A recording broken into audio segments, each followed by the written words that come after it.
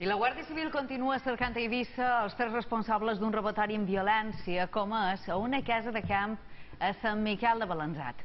Els lladres anaven encaputxats i armats quan varen entrar a l'habitatge del jutge de Pau de Sant Joan a qui varen fermar i amenaçar de mort juntament amb la seva parella i el seu fill.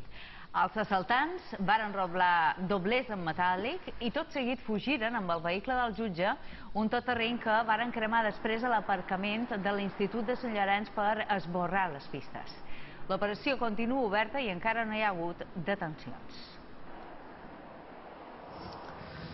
I dues persones han resultat ferides en aquest accident de trànsit que s'ha produït a la carretera que uneix Algaida i Sant Joan.